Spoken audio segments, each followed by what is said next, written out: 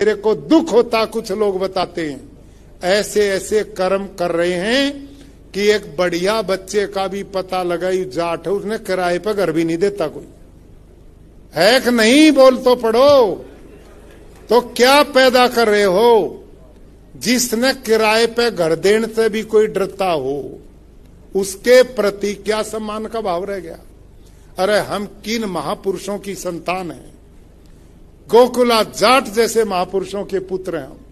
महाराजा सूरजमल की संतान है हम। ऋषियों की संतान है। ये देश का गौरव है। आज हम वो पैदा कर रहे हैं कि हरियाणा में ढाई सौ, तीन सौ तो जेलों में पड़े अपराधी पड़े कि नहीं पड़े? इससे भी ज़्यादा।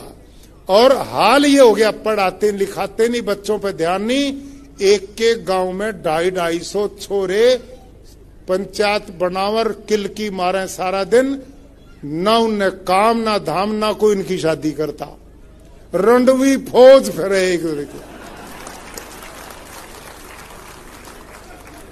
बताओ, ये हाल है आपका। और तुम कर्म योगी हो।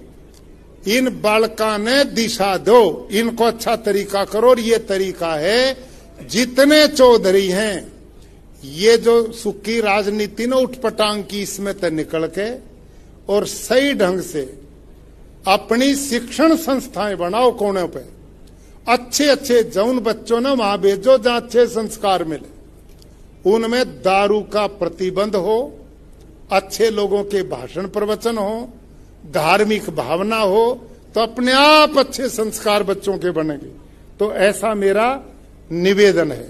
और हमारा संगठन, मैं पुनः इस बात को कहूँगा कि भाई, हम मज़बूत बने। इसलिए नहीं कि हम कोई धरती न तोड़ेंगे।